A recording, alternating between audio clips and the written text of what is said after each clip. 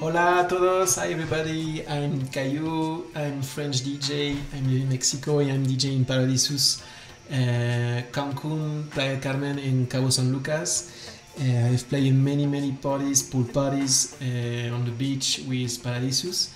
It was so cool, but today I'm in my house um, and I would like to share with us uh, four playlists.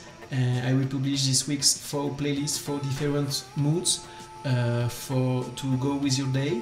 So uh, let's go. Start with the first. It's called um, Breakfast Sunrise. It's perfect to wake up.